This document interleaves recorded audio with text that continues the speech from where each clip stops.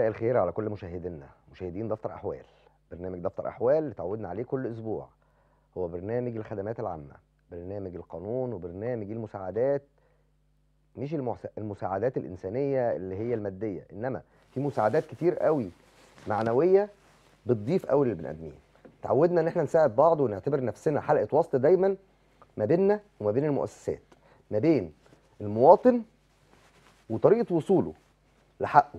حقه بقى مع ايا كانت الوزارة الخدمية اللي بيحتاج لها.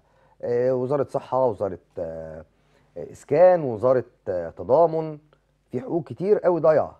اللي ضايع فيها المفهوم اللي عند المواطن. قبل البيروقراطية وقبل ضياع حقك كمواطن في الوزارة هو ضياع المفهوم. اللي دايما بنحاول نوصل له هو مفهومك يكون سليم في طريقة طلبك للحق. مسألة هي سهلة ومسألة نسبية ومعادلة سهلة جدا على المواطن. برجع لكم تاني دفتر أحوال آه، على الفيسبوك هو دفتر أحوال بالعربي للمتابعين آه، لينا على صفحتنا. الاستفسارات موجودة طوال ال- الأسبوع. أرقام تليفوناتنا موجودة على الشاشة. كل الأسئلة بنجاوب عليها. كل الاستفسارات بنجاوب عليها. حتى الاستغاثات. بيجي لنا استغاثات كتيرة جدا جدا. بيجي لنا أسئلة وبنرد عليها عمليا في منها اللي بيحتاج لرد بسيط. وفريق العمل بيرد آه على ده بصفة دورية وفي غيره بيحتاج لتواصل ومقابلات وبنعمل ده. الحمد لله قدرنا نحل كتير قوي وربنا اعنا على ده ويعنا كمان على حل المشاكل للناس. آه مشاكلنا كتير آه بس الحمد لله حلولنا أكتر. عندنا النهارده جالنا على على الصفحة تقريبا طوال الأسبوعين اللي فاتوا أسئلة كتير قوي على النصب. اللي منصوب عليه في شقة اللي منصوب عليه آه، في فلوس واللي اتنصب عليه في عربية أسئلة كتير جدا. حاولنا نرد على بعضها. آه، ردنا يعني بقدر الإمكان. إنما قررنا ووعدنا ال- ال- المشاهدين وال- والمتصلين والمتابعين لينا على الصفحة إن إحنا هنعمل حلقة على ده. وكان في رأينا كفريق إعداد إنه أفضل حد نستعين بيه في ده هو ضيفي النهارده. اللي حبيت أعمل المقدمه دي لأنه فعلا هو بيساعدني دايما في الأمور دي. أول ما فكرت أعمل حلقة وأتكلم عن النصب قلت أستعين بالمستشار حسين عبد الفتاح. أهلا وسهلا. أهلا وسهلا يا أستاذ إبراهيم. نورتنا الأول. يا رب يخليك يا معالي الباشا شكرا ليك على تلبيتك لل- تحت أمرك للدعوة. تحت أمرك تحت أمرك يا معالي الباشا وتحت أمر برنامج دفتر أحوال. آه، بنشكرك وبنقول لك آه، النصب. عندي حالات كتير قوي. اتنصب عليا في شقة في بيت في عمارة في آه، في عربية. عايز اعرف إيه الفروق ما بينهم إيه ال ال ال يعني الطرق اللي نتجنب بيها ده آه، إيه الحلول آه، قبل ما تبتدي لقائك وحوارك واسيبك آه، تعيش معانا في في الجو وفي الأسئلة. بفكر كل المشاهدين وأقول لكم اللي عايز يسأل أو يستفسر عن أي حاجة أرقامنا موجودة طوال الحلقة على الشاشة مستعدين للإجابات والاستغاثات كمان وحتى أي استفسار قانوني. أستاذ حسين. أستاذ إبراهيم. قول لنا. جريمة النصب طبقا لنص المادة 336 من قانون العقوبات هي من الجرائم العمدية التي أعطاها القانون اهتماما بالغا.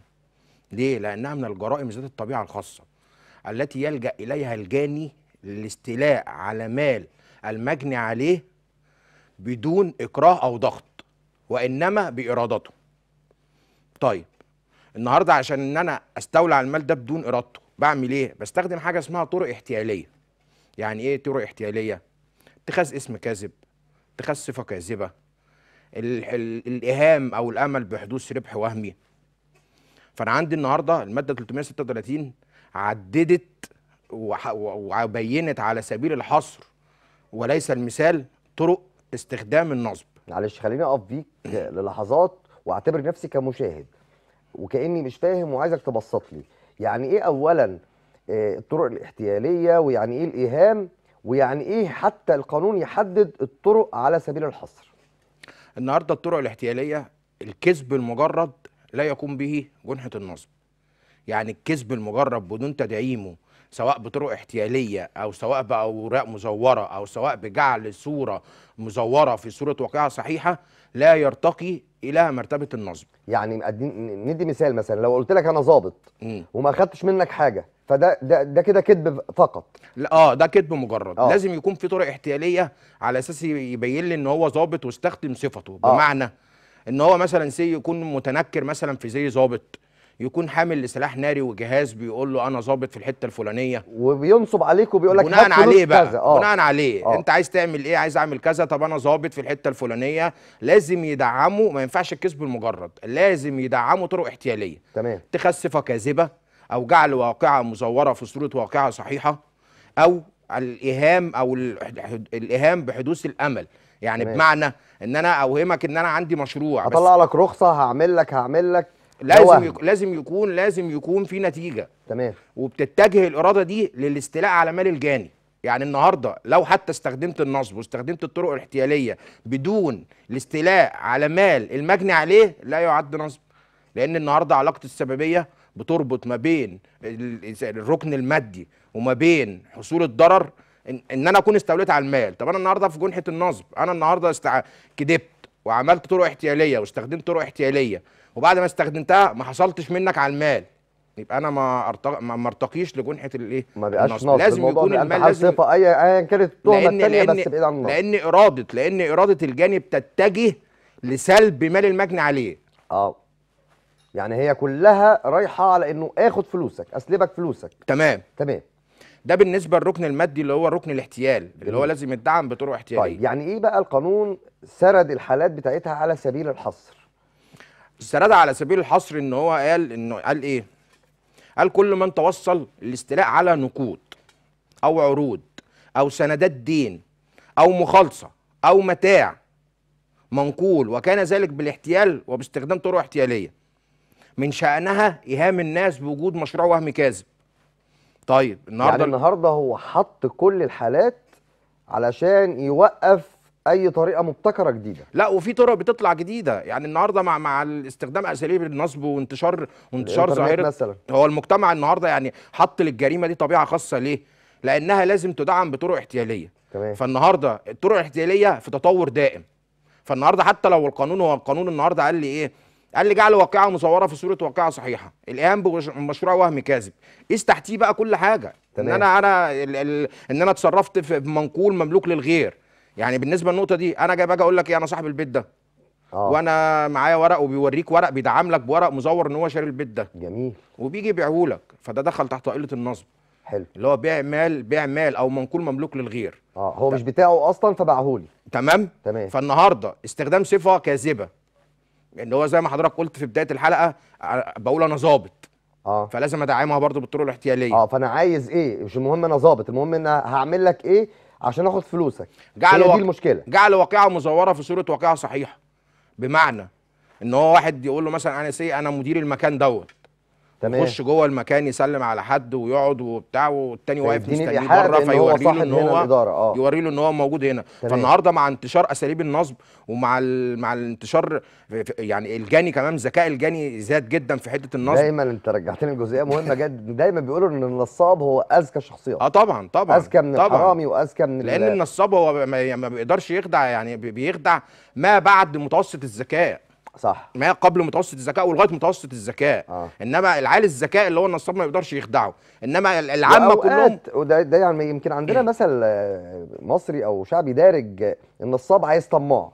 هو بيقولوا بيقولوها آه. زي ما طول ما الطماع موجود النصاب بخير زي ما بيقولوا. فهو برضه بيبقى بيلعب هو على بيلعب على الجزئية دي بيح... بي- إن هو بيوهم المجني عليه بإن أنا أحقق لك ربح أو أحقق لك فايدة أو آه. أعود عليك ب... ب... بمو... بنفع ب... بنفع. فالنهارده الكلام ده لازم لازم مجرد إن أنا بقوله له وبدعمه بطرق احتيالية فخلاص هو الجاني وجه إرادته لسلب والاستيلاء على مال الجاني على المال المجني عليه. فبالتالي بدأ إن هو خلاص زي ما بيقولوا إيه إن هو عدله الطرق الاحتيالية.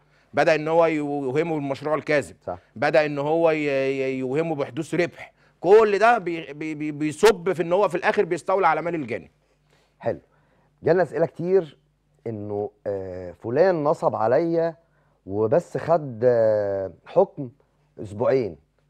اولا إحنا جايين نسأل حضرتك العقوبة هنا في في, في جريمة النصب من إيه لايه يعني الحد الأدنى بتاعها إيه الحد الأقصى إيه وازاي بتتقدر بقى العملية دي كلها في الأحكام؟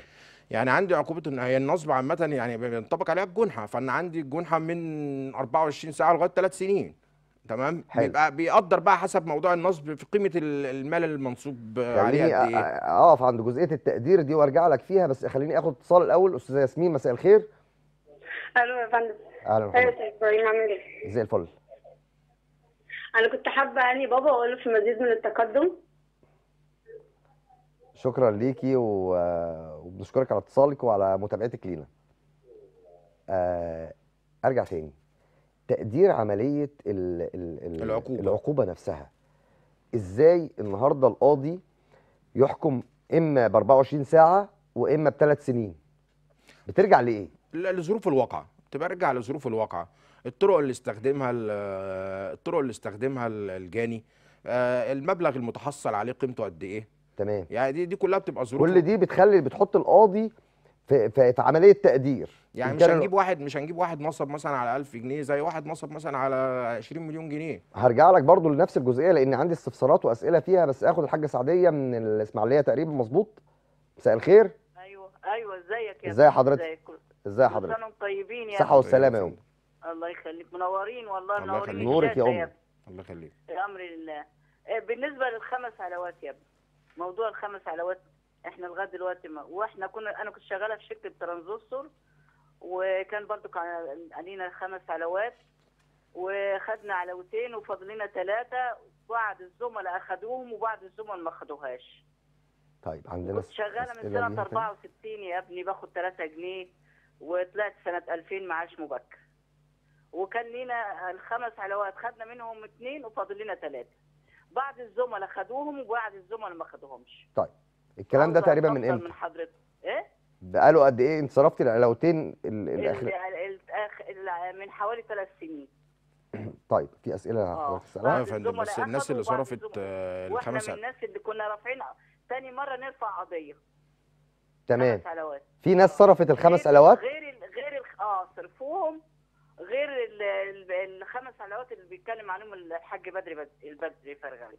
تمام. دول اخذوهم وإحنا ما خدناهمش لغاية دلوقتي. آخر يعني آخر حاجة خدت العلاوة الثالثه إمتى؟ العلاوة الثالثه هي أنت صرفتي اثنين ولا ثلاثة أنا صرفت اثنين بس فاضل لي ثلاثة فاضل لها تلاتة. فاضل لها ثلاثة رفعنا قواضي بعد الزملاء. خدوا الثلاث علاوات الأخرانيين دول وإحنا ما خدناهمش. صادر في الحكم إيه؟ يعني الحكم ال- الحكم اترفض المرة دي لكن لا إحنا زمايلنا ال- بعد الزملاء والزملاء إحنا اللي أنا من ضمن الزملاء أنا وجوزي ما خدناش العلاوات دي. تمام في أسئلة؟ الثلاث لا، علاوات ما- اللي فاضلنا. طيب ه- هنرد على حضرتك دلوقتي تابعينا وبنشكرك لاتصالك الأول وتابعينا وهيرد عليك المستشار حسين عبد الفتاح. بخصوص موضوع العلاوات هو طبعا الجهة الإدارية ما بتنفذش من نفسها. يعني الجهة الإدارية متعارف إن يجي يقول لك أنا عندي كمية كمية علاوات هنفذها اللي بياخد له حكم بيجي ينفذ له. تمام. ليه؟ لأن النهارده بيبقى عنده أعداد طائلة أعداد طائلة من تنفيذ المبالغ دي كلها. فبيبدأ إن هو ال- اللي بيتجه وبياخد حكم بيرجع ينفذه.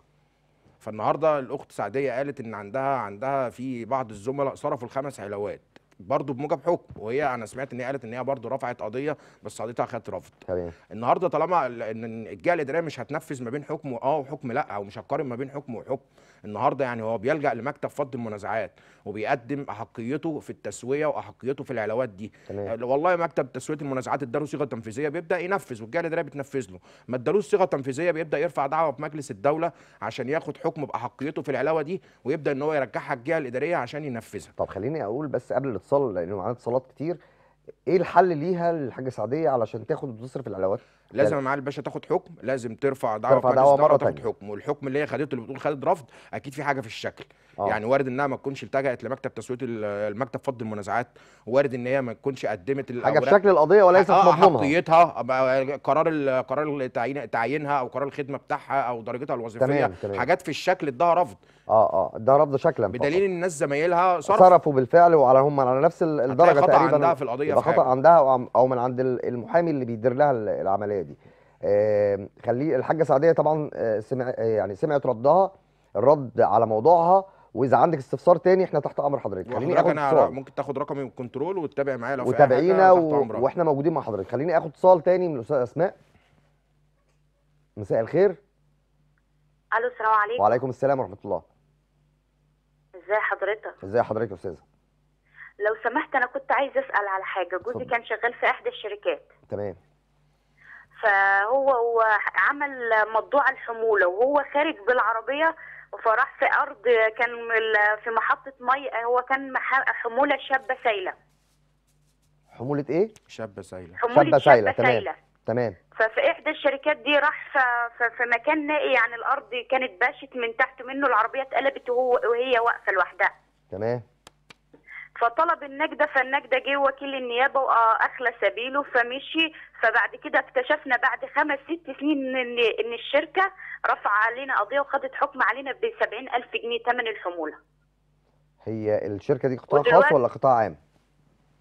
شركة النيل للنقل التقيل. دي قطاع عام. قطاع عام؟ دي شركة قطاع آه. عام؟ قطاع عام. تمام آه. طب هو هو مازال شغال في الشركة؟ لا هو لما الشركة بعد كده أول مرتب قبضوا راحوا خصموه قالوا له برضه من ثمن الحمولة فهو ساب الشركة. آه ساب مش ورقه في الشركة وبعد عن الشركة. أو شغال بره دلوقتي من س... من وقت الواقعة. نفسها. ودلوقتي هو حضرتك اتحك... عملوا حجز وحجزوا على عزالي. وأنا مش عارفة أعمل إيه وجوزي هربان وأنا دلوقتي مش عارفة إيه اللي أنا أعمله. أو جوزي إيه اللي يعمله؟ هو. هو لو معاه سبعين ألف جنيه ما كان جاب له تاكسي استرزق منه أو. كان آه عمل حاجة. الحمولة إيه اللي تم فيها؟ معلش. طيب الحمولة اللي وقعت دي كلها انتهت يعني ال... ال... على علمك بالواقعه كل الحمولة اللي وقعت دي هي وقعت وما يعني ما- لحقوش منها حاجة؟ لا ده شابة سايلة زي المية اتدلقت على الأرض. أيوه أيوه كلها كلها وقعت. وقعت على الأرض. آه العربية كانت الصينية بتاعتها التريلا باشت فالعربية اتقلبت الحمولة كلها نزلت على الأرض. تمام. تمام. خلينا هنرد على حضرتك دلوقتي.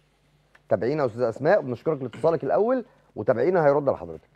هي مش مسألة يعني مش أنا شايف إنه كانت حل وقتها. كانت راجعة للسلامة المهنية. بالظبط. هو النهارده يعني بحتة إن هي لو ال- زي ما بتقول العربية نفسها هي اللي من فيها. الحمولة آه، بقوة الحمولة إنها باشت أو زي بس خليني إن أقول إن. انه وقتها كان ال- ال- التدارك ده كان أمره أسهل لأن العربية نفسها كانت موجودة وإنه الخبير يقدر يحدد مدى إن سلامة العربية من من عدمه النهارده السيارة دي بتبقى مل- ملك للشركة بالظبط. يعني بتبقى من ضمن أسطول الشركة بالظبط فالنهاردة ليها صيانة وليها ما أقدرش أطلعها طالعة بحمولة في مواد مواد كيماوية شديدة الخطورة زي دي ولازم أكون مطلعها العربية على أكمل وجه. يعني ما تبقاش فيها ما تبقى ما يبقاش فيها أي أضرار ما يبقاش فيها أي أي بالظبط. أطمن على إن. العربية سليمة الأول علشان أطلعها في ممكن الشارع. تسبب كا- لأنها ممكن كوارث. تسبب كارثة بعيدة عن ده إنها تخبط بني آدم أو تموت بني آدم. أنا بالنسبة ليا أنا بالنسبة ليا اللي هو جوز استاذه أسماء ده راجل سواق. يعني النهارده أنا عندي عندي قسم صيانة المفروض إن أنا بطلع بيه العربية تمام آه ببدأ آخد الحمولة وببدأ طب اطلع خليني ده كلا ده الكلام اللي فات. النهارده هي تعمل إيه أو هو يعمل إيه؟ ما هو الدعوة اللي هو آه. الدعوة المرفوعة عليه 90% يعني هتلاقيها دعوة إلزام بمبلغ الحمولة اللي هو اللي موجود. بالظبط. النهارده أنا أنا كدوري أو أنا أنا النهارده خدت خدت منه حمولة عشان إن أنا أسوقها ولا خدت حمولة بنقلها؟ أنا بنقلها. واخدها من مكان لمكان. يعمل إيه دلوقتي؟ هيعمل استئناف في الحكم ال- الحكم ده؟ طبعا لأن آه. هو كده المفروض كده إن هو ما حضرش فيه يعني ما عشان ياخدوا آه. عليهم إلزام ب 70000 جنيه يبقى معنى كده إن هو ما حضرش وما اداش أي دفاع مظبوط. يعني ما قالش أنا راجل شغال ما قالش إن أنا لازم أطلع بالعربية السلامة المهنية ما قالش العربية. دي نفسها سليمة ولا بايظة وبعدين النهارده حتى لو حصل كده يعني بالنسبة له هو قهرة دي مواد دي مواد كيماوية شديدة شديدة التحلل قامت بإتلاف السيارة ومما أدى لسهال ال- الحمولة يعني كان في في في طرق كتير يقدر يدافع بيها عن نفسه و... بس مجرد إنه يبتدي في مراحل التقاضي وما يفضلش هربان. دخل يعني كان رد في المحكمة على الاتهامات الموجهة ليه دي. تمام. آه الرد وصل أستاذ أسماء. آه وإذا في عندك مشكلة تانية تقدري ترجعي لنا أرقامنا موجودة. إحنا موجودين معاكي. إذا ما حدش حل لك المشكلة إحنا موجودين. مستشار حسين موجود. نقدر نتابع مع حضرتك. معانا كمان آية من القاهرة تقريبا ولا من البحيرة؟ من البحيرة. أيوه مساء الخير. الشاشه الله شكرا يا أستاذة آية. بس عايزة أستشير بس الأستاذ أقول له بس اللي أنا سألت كذا محامي في حاجة فعايزة أعرف يعني أنا مش فاهمة بصراحة. اتفضلي. دلوقتي أنا والدي متوفي ماشي وسايب لي كل شيء فأنا خدت شقة. توفي إيه؟ متوفي أنا؟ كد- أنا خدت شقة. تمام. آه، يعني بفلوس بنصها ورث وبنصها بالفلوس اللي كانت ليها عند والدي. فبعدين أنا دلوقتي كتبها باسمي وباسم امي يعني بعد بعد والدتي المفروض تكون هي ليا. بس. في محامي اللي هو كان في الموضوع قال المفروض ب- لازم امضى من أمك بيع ليكي. فالمحامي قال لي أنت تمضي لا أمك. معلش. أنا مش فاهمة. واحد مش فاهم. واحدة واحدة علينا.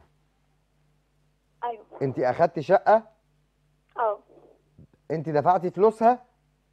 أنا أنا كان ليا فلوس عند عند أبويا. حلو. تمام؟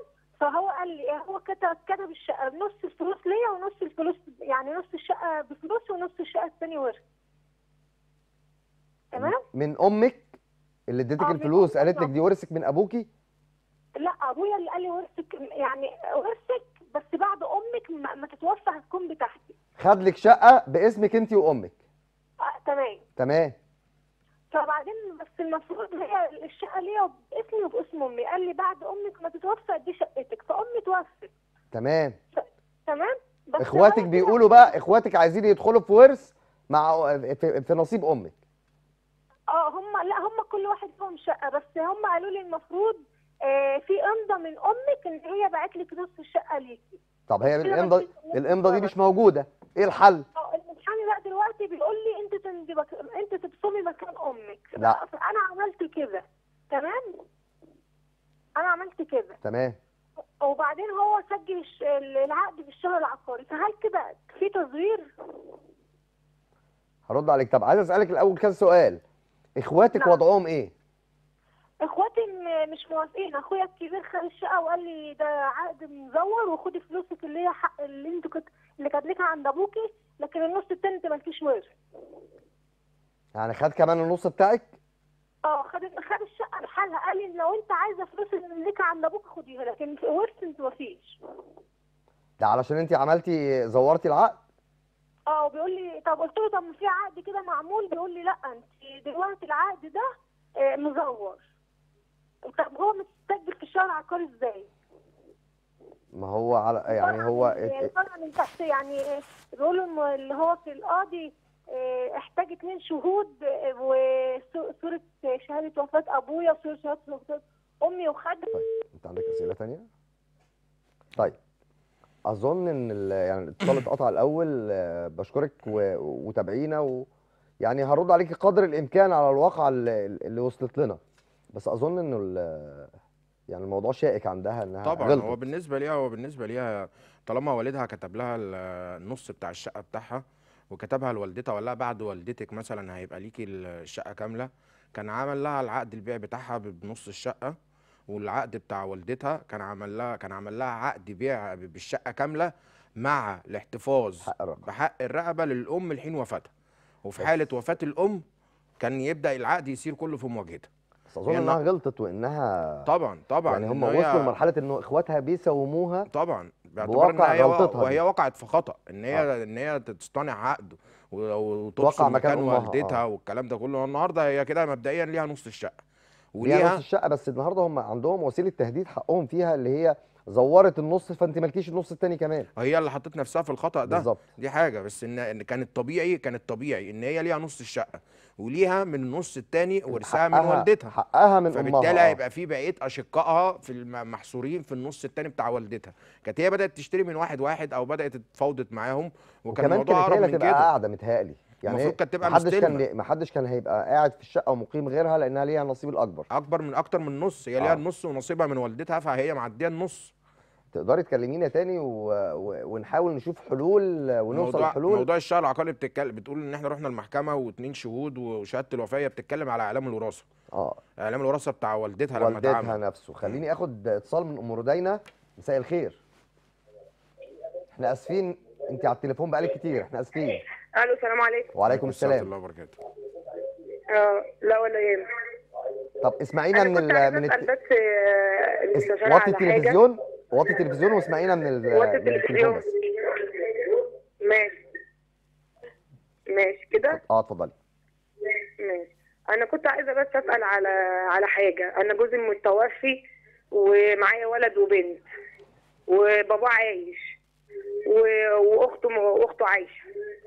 فهو مش راضي يكتب لهم أي حاجة ولا ورث بيقول لك هم مالهمش حاجة عندي. حتى اللي هو في حاجة في يعني بيقول لك الميراث اللي هو وصيه واجبه الوصية الواجبة؟ يعني جدهم مش عايز يدوم حاجة ومش مكتوب حتى الشقه مش مكتوبة بتاع اسم جوزي.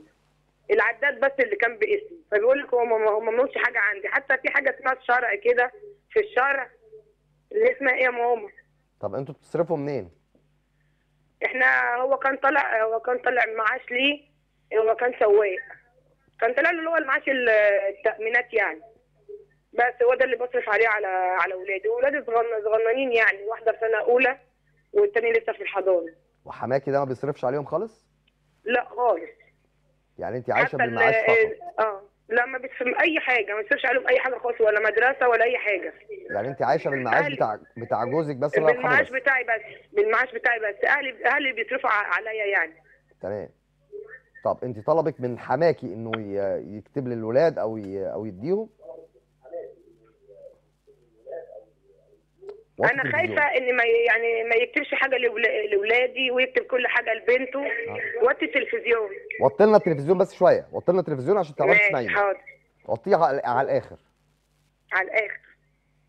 آه أنت بقى عايزة يأمن مستقبل آه، ولادك. عايزة يأمنهم لأن يعني باباهم مات وما كانش وراه أي حاجة. تمام. بتسألي في قانونية ده أو لأ يعني؟ آه فأنا يقول لي لا أنا مش هكتب أنا كل حاجة لبنتي أنتوا مالكوش حاجة عندي عشان هو الولد مات قبل قبل باباه. طب هيرد عليك المستشار حسين دلوقتي تابعينا فانا عايز أعرف هو. هو نصيبهم إيه هل هم هياخدوا مثلا ورث زي ما كان أبوهم عايش ولا ما لهمش أي حاجة خالص؟ طيب هيرد عليك دلوقتي حالا.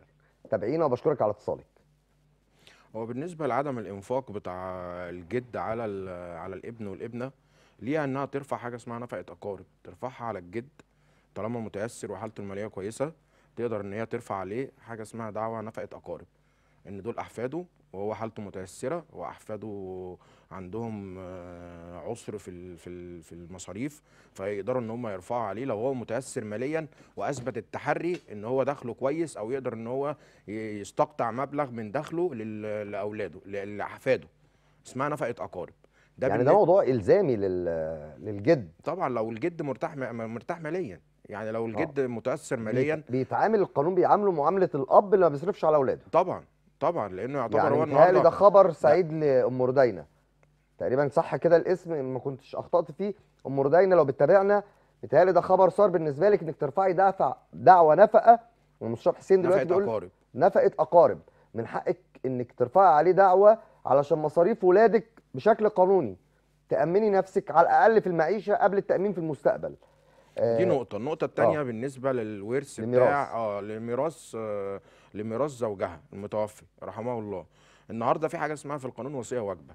يعني إيه؟ يعني إن أنا النهارده لو توفى يعني الأب موجود وتوفى الابن على حياة عينه لو الأب بعد كده توفى يعني بيبقى ليه في ميراث بيبقى ليه في أحفاده ليهم في ميراثه نصيب والده، بمعنى لو أنا عندي. مثلا سي توفى الأب وعنده وعنده ولدين عنده ولد وبنتين تمام. فالنهاردة التركة هتتقسم على النص للابن و... والنص للبنتين. تمام؟ والنص للبنتين. لو عندي الولد النهارده ال- الولد اللي كان على حياه. عين والده توفى. لو هو لسه على قيد الحياة فكان المفروض ليه النص وولاده تمام. ياخدوا الوصيه الواجبة دي.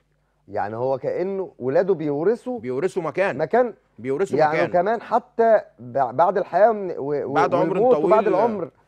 ولادك متأمنين بأن ليهم ميراث شرعي من جدهم بالقانون والشرع يعني بالاثنين وهي لو هي لو شايفة إن في أي املاك تخص تخص زوجها المتوفي أو ليه مثلا شقة ورث مع والده أو لا أظن إنه هي حتى قالت يعني صراحة بدايه إن هو مفيش مفيش ميراث لأنه الراجل ال- ال- حماها قال لها أنتوا مالكيش عندنا أي حاجة كل حاجة باسمي. آه، متهيألي خبر كويس جدا ليها. خليني آخد اتصال تاني من الأستاذة حكمة صح؟ ولا حكمه أستاذة حكمه مساء الخير. تقريبا ال- الخط قطع. تمام. آه متهيألي آه، يعني لل- للمتصلة ال- ال- اللي قبل دي خبر آه، خبرين كويسين أفضل من بعض إنه ليها حق في إنها تصرف. وليها كمان الحق في ال- لا وكمان. ليها كمان انها لو هي شايفة إن هو في أي أموال هي علمت بيها فيما آه. بعد إن إن زوجها كان ليه مثلا ورث مع تمام. داخل شراكة مع حد داخل آه شراكة آه دي مع أمور والد تانية بعيد تقدر إنها. تتجه آه. تقدر إنها تتجه للنيابة الحزبية نيابة. المال وتقول إن أنا عندي قصر رجعت لنا تاني الأستاذة حكمت أيوه أيوه مساء الخير يا حاج مساء الفل اتفضلي أنا لو س... أنا بكلمك حاجة والنبي لو سمحت اتفضلي يا أم آه أنا دلوقتي أنا شغالة في شركة القطان بإسكندرية. تمام. فأنا ما خدتش الخمس علاوات. تمام. ما خدتش الخمس علاوات بتوعي. كلهم ما اتصرفوش. آه، انت ما زلتي موجودة. ما زلتي في الخدمة. نعم؟ ما زلتي في الخدمة. أيوه طلعت من الخدمة خدت آه، آه، لما صلي على النبي آه، طلعت كده معاش مبكر. طيب طلعتي معاش مبكر يعني؟ آه معاش مبكر. حد من زمايلك صرف العلاوة منهم؟ لا ما حدش صرف. أنا ما أعرفش ما حدش صرف. أنا طلعت وخلاص على كده. طيب هرد عليكي تابعينا يا ماما وش- بشكرك لاتصالك الأول. وتابعينا هيرد عليك مستشار حسين. هو طبعا موضوع ال- الخمس علاوات بالنسبة للعاملين بالدولة موضوع مهم وموضوع شائك. النهارده هي هي النهارده ما اتجهتش أساسا لمكتب فض المنازعات. يعني هي بتقول لك أنا طلعت وما أعرفش بس سامعة إن في وفي وإن في ناس خدت. آه. النهارده زي ما قلنا في بداية الحلقة هتتجه لمكتب فض المنازعات. وهتاخد أوراقها معاها اللي طب هي النهارده اللي ما يعرفش ده لازم 100% يلجأ لمحامي. يعني هو المحامي هو اللي بيدي النهارده. يعني أنا بحاول أسهل دايما على المشاهد أو على الجمهور الحاجة اللي ما تستدعيش محامي ويقدر يعملها بنفسه يعملها. هل دي من الأمور اللي ممكن ما تستدعيش لمحامي ومصاريف؟ لأنها بتدور على علاوة. مش عايزة تدفع أتعاب. خلينا برضو عمليين وبنراعي ظروف الناس. هو الدعاوى العماليه معظمها يعني معظمها بيبقوا فعلا ناس هم أصلا بي بي بيدوروا على هو في الحاجة لل1000 جنيه وال2000 جنيه اللي يصرفوا تمام. عليه في, في, في يعني في معيشته. مش عايز يصرفهم النهارده. خط خط السير يعني خط السير النهارده لو هي بتلجأ لمكتب فض المنازعات. بتبدأ إن هي طلب صيغة عادي جدا بدون أي رسوم. بتبدأ مكتب فضل المنازعات ده بيبقى موجود فين؟ برضه موجود في الجهه. الاداريه التابع التابع ليها. يعني هي تبع شغلها كل جهة ليها مكتب مكتب فض المنازعات بتاعه. آه يعني متهيألي متابعانا يا حاج حكمت تبع ال- الشغل بتاعك في حاجة اسمها مكتب فض المنازعات. تفتكر الاسم ده كويس؟ انت تقدري بنفسك في مكتب فض المنازعات يعني مستشار حسين بيقول لك بنفسك تقدري تعملي طلب وتكتبي إنك عايزة تصرفي العلاوات كلام مظبوط. رسوم طبعا طلب بيبقى هو رسوم موجود. كمان. آه طلب بيبقى موجود لجنة فض المنازعات بنموذج بتاخده بتملاه وبتبدأ تقدمه وتقدم معاه حافظ مستندات فيها أوراقها اللي هو كادرها الوظيفي آه، أحقيتها في العلاوات ديت القرارات اللي صدرت بيها العلاوات دي والمستندات اللي بتحتاجها ترتيبها في هم بيطلبوا منها ورق بتحضره وتجيبه. تمام بتقدم الورق دوت وفي خلال 15 يوم بيتحدد لها جلسة في خلال 15 يوم. والله ادوا صيغة تنفيذية على الموضوع بتاخد ب- على الصيغة التنفيذية على أحقيتها يعني يدوها قرار بصرف العلاوه وبتاخد عليه يكون مزايل بالصيغة التنفيذية حلو. من لجنة فض المنازعات. لما بيدوها أحقية حلو. بتاخد بتاخد الصيغة التنفيذية بتاعت آه، لجنة فض المنازعات وبتتجه بيها للجهة الإدارية إنها عايزة تنفذ التنفيذ العلاوات حلو. فالنهاردة 90% من لجان فض المنازعات ما بتديش أحقية. يقول لك اتجه للدعوة خليني نقول كخطوة ونفترض إن هو فعلا لجأ لو تمت لو تمت بد- بيبدأ إن هو يديها صيغة تنفيذية بتوديها للشغل بيبدأ إن هو تخش على التسويات في الحسابات يبدأ إن هو يرتب لها تنزل مع المعاش ينزل لها معاها بقية فرق العلاوات دي النهارده لو الحل الثاني لو أو الفرض الثاني لو لجنة فض المنازعات ما ما توصلتش الحل معاها أو ما اديتهاش أحقية ساعتها تلجأ تنفيذية. بقى لمحامي كخطوة دعوة. أولى لكن خلينا في الأول كخطوة أولى يعني بنفسك اعتمدي على نفسك اولا وبعد كده نبقى نتكلم وإحنا موجودين معاكي برضو في الخدمة إحنا كمان. خليني آخد اتصال من أستاذ إبراهيم. إحنا آسفين أستاذ حسين لا. تحت عمرك يا فندم. مساء الخير. السلام عليكم. وعليكم السلام ورحمة الله وبركاته. إيه يا باشا بقول لحضرتك آه، أنا عندي مخزن آه، مأجره. معاك. والراجل اللي هو مأجر المخزن عندي دوت آه، اتوفى. تمام. فطبعا مش عارف أعمل إيه. هو اتوفى اللي كان مأجر عندي. تمام. و- وأرملته هي اللي موجودة. طيب خليني آه، يعني هسألك مع ال- أنا والمستشار حسين. الأول العقد ده أنت كنت عامله إمتى؟ آه، العقد ده هم اللي اللي عامله ب 10 سنين. من إمتى؟ وهم المفروض يطلعوا في 2023 يعني أنت عامل العقد ده قريب يعني من 10 سنين. طب النشاط المحل ده كان إيه؟ آه، هو مخزن. مخزن؟ مخزن آه مأجره مخزن. شغال لحد دلوقتي ولا فاضي من بعد الوفاة؟ لا هي مشغلاه طب شغاله من بعد الوفاة خليني يعني خليك متابعنا يا أستاذ إبراهيم. آه مستغليه حاليا ب- بعد الوفاة. طيب المستشار حسين هيرد على حضرتك. هو طبعا اللي أنا فهمته من الأستاذ آه، إن هو عقد إيجار آه، محل بس طبعا خاضع للقانون آه، 4 سنه 96 آه. باعتبار إن هو محدده محدد المدة المدة. 10 سنين وهينتهي في سنة 23 تمام. النهارده لو حد من الورثة بيباشر نفس النشاط ما حدش هيقدر يقول له حاجة. وحتى لو ما بيباشرش نفس النشاط. مم. يعني النهارده أنا مش مش عقد إيجار قديم عشان أقول إن إن الوريث يمتد له في امتداد مرة واحدة أو ما فيش أو أجي أقول إن إن هو هيباشر نفس النشاط أو لأ.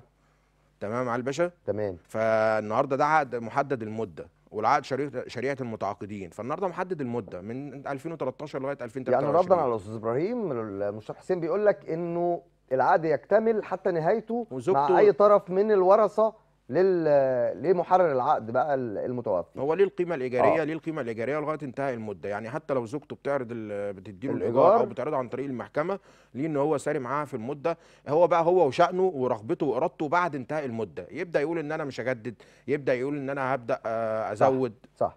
أه بعتذر لك على الاتصالات لا، انما تحت إحنا برنامجنا هو لخدمة الناس. وبشكرك على تلقي أنا ببقى سعيد. لما باجي البرنامج والاتصالات بتبقى أكتر من اللي إحنا بنقوله. بجملة الاتصالات آخد أستاذ محمد مساء الخير. السلام عليكم. أستاذ محمد منين؟ السلام ورحمة الله وبركاته. أنا من الشرقية. نورتنا الأول. الله يسترها معاك يا فندم. اتفضل. أنا يا فندم شغال من سنة 2012 بقالي 8 سنين. تمام و... و... ودلوقتي أنا دلوقتي يعني بناخد 40 جنيه. ده فين؟ ده في الشرق في التربية والتعليم. تربية وتعليم. شغال إيه؟ على كادر آه. إيه ولا وظيفتك إيه؟ لا عمال تبع العمال. حاضر. مرتبك الشهري كام يعني؟ 40 جنيه يا فندم والله. 40 بقالي جنيه في 8 الشهر؟ سنين. آه والله العظيم. 40 جنيه في الشهر؟ آه والله. في حد أدنى لل... للأجور في مصر؟ 40 جنيه في الشهر آه. دي منين؟ أنت جبت الرقم ده منين؟ ما هو 40 جنيه اللي إحنا بناخدهم بقالنا 8 سنين وفي ناس زيي يعني مش أنا لوحدي برضه. 40 جنيه في الشهر أرجع تاني أسألك نفس السؤال. 40 جنيه في الشهر ولا في اليوم؟ لا في الشهر. مفيش حد بيتقاضى 40 جنيه في الشهر. والله العظيم 40 جنيه في الشهر. هو العقد أصلا يا فندم آه. مكتوب فيه 80 زائد 10 80 جنيه زائد 10 طيب. آه، متأمن عليك؟ لا مش مؤمن عليا يا فندم. يعني مبدئيا يعني أنا طبعا ويعني وال وال والفيصل حتى الأستاذ حسين معانا طبعا يعني هو ال- الأعلم مننا بس أنا أعلم جيدا إنه الحد الأدنى للأجور بعيد عن اللي أنت بتقوله ده خالص في التأمينات الاجتماعية وفي كل الجهات. يعني مفيش حد ليه الحق إنه يعمل معاك عقد ب 80 جنيه. ولا أنا غلطان. آه طبعا. حتى أنا من الأدنى. 2012 يا فندم. ايا كان. من تعديل العقود ده أمر أمر أمر وجوبي. ده مش أنت بتكلمني كمان الجهة اللي عاملة معاك العقد ده جهة خاصة ولا جهة حكومية؟ لا أنت لا بتقول لي وزارة التربية. والتعليم. حكومة. يعني الحكومة هتخالف القانون؟ مستحيل. ما أظنش متهيألي الكلام ده. طب آه، هستسمحك. هستسمحك. آه،. رقم آه، تليفوننا موجود آه، في الكنترول. يعني من فضلكم يا جماعة. عايزين رقم الحاج محمد. وابعت لنا صورة من العقد ده إن كنت أنت على حق. أنا اللي بعلنها دلوقتي. وأنا ما اظنش. بس خليني بفترض ان انت على حق. خليني أشوف العقد ده واتابع معاك واتابع في الوزارة هناك وفي وفي مديرية التعليم في ال- في الشرقية. نشوف الوضع ده إيه. متهيألي مفارقة متهيألي آه طبعا يعني محدش- 40 جنيه 40 جنيه في الشهر يعني جنيه في اليوم يعني هو شغال على كادر إيه أو مفيش؟ حتى لو عامل لو خليني أقول أقل كادر وظيفي النهارده ال- مفيش 40 جنيه في معاناة الدولة حد الخمس أدنى- سبع أدنى سنين اللي 1200 فاتوا 1200 جنيه جوه. كانت معاناة الدولة كلها في السك- في الخمس لسبع سنين اللي فاتوا من بعد الثورة هي إن ال- ال- معدل ال- الرواتب والأجور يعلى وده تم بالفعل في خطط خمسية طبعا. وإحنا شفنا نتيجة ده في مرتبات وفي معاشات لأنه اجور جديد ده ده إنما ضعف في 40 جنيه. عارف أنت. لو قلت 400 هتبقى بالنسبة لي ممكن ودني تصدقها إلا وإنه لأ برضه. إنما 40 جنيه وشهر والعقد معمول بكده ده أمر لا هو. وارد إن هو يكون يكون شغال عماله. لا مش شغال عمالة يوميه بمعنى إن هو يعني زي زي اللي بيجي يشتغل مثلا هو آه شغال في التربية والتعليم. آه. وكيان حكومي وكل حاجة. بس النهارده شغال بيومية أو شغال يعني بعقد. حتى بيجي حسب يومه بيقدر له يومه ب 80 جنيه ولا بيقدر له يومه ب 40 ولا ما إحنا ممكن تكون العملية المفارقة يعني دي ممكن يكون ممكن يكون الأساسي بتاعه الأساسي بتاعه 40 جنيه. آه. وعنده زي مثلا بدل بدل الحضور بدل آه، مخاطر مهنية بدل مش عارف إيه. يعني صح. شوية البدلات دي في أمور كتير تجمع معاه مثلا تجمع معاه لل 1200 لل هن- 1000 ونص. صح. هنعرف الأمور دي كلها حسين آه، تعاقد أستاذ حسين آه، تقلنا عليك لا النهارده يا فندم لا يا أستاذ إبراهيم آه، أنا سعيد جدا يمكن ما اتكلمناش معاك. بنسبة 100% في الموضوع آه، نكمله في حلقة ثانية إنما توعدنا قبل ما نمشي طبعا طبعا إن أنت طبعا. هتكمل معانا طبعا طبعا. النصب لأنه عندنا أسئلة كتير وعندنا استفسارات كتير فيه إنما إحنا كلنا أذان صاغية للجمهور وحل مشاكلهم طبعا طبعا وحل طبعاً. آه كل المشكلات اللي عند الناس قانونية ايا كانت أو أو تعاملات مع جهات. بشكرك في نهاية الله لقائي يخليك يا أستاذ نورتني. المستشار حسين عبد الفتاح المحامي يخليك بالنقد. والإدارية العليا. حبيبي. نورني. آه بشكر كل مشاهديني. بعتذر لكل الاتصالات اللي ما لحقناهاش أو ما لحقناش نتواصل معاها. بقول لكم صفحة دفتر أحوال بالعربي على الفيسبوك. آه أي رسالة بتتبعت أرقام تليفوناتنا كمان موجودة على الصفحة. نقدر نتواصل مع بعض طوال الأسبوع. أي حد عنده مشكلة عنده استغاثة عنده استفسار موجودين طوال الأسبوع. عندنا فريق قانوني آه شغال. على قدم وساق لحل مشاكل الناس آه، بنساعد الناس بنساعد الدولة بنساعد بعض. في الآخر آه، يعني لا زال الخير في أمتي إلى يوم الدين صدق رسول الله. بشكركم في نهاية الحلقة وبقول لكم أراكم الأسبوع الجاي في نفس الميعاد في دفتر أحوال. والسلام عليكم ورحمة الله.